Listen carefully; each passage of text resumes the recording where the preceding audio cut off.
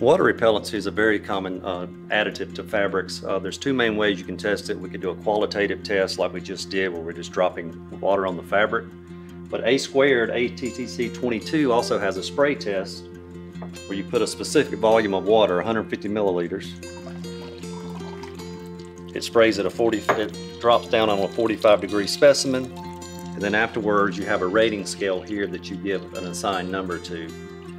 In this case, after it finishes,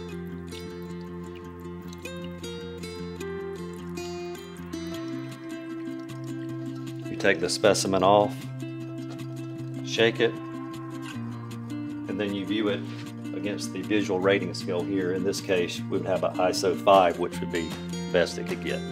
So all of the water has ran off the fabric without any absorption.